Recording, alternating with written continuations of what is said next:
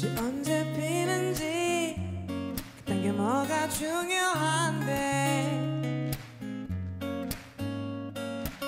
날씨가 언제 풀리는지 그딴 거 알면 뭐 할 건데.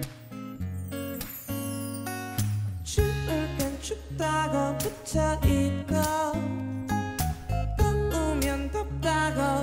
니네 진짜 이상해. 너의 달콤한 사실 PC방을 더 가고 싶어 아직 겁나 피곤하대.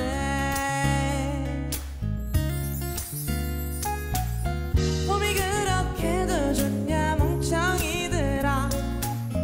벚꽃이 그렇게도 예쁘디 바보들아. 결국 꽃잎은 떨어지지 니네도 떨어져라. 몽땅. 예 감사합니다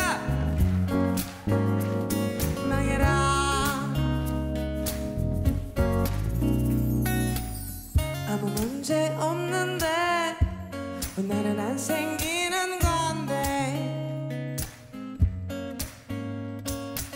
날씨도 완전 풀렸는데 감기는 왜 또 걸리는데.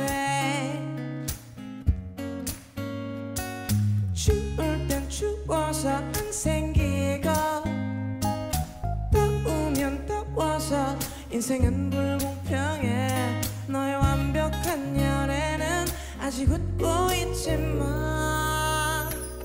너도 차일 거야. 겁나 지독하게. 봄이 그렇게도 좋냐 멍청이들아.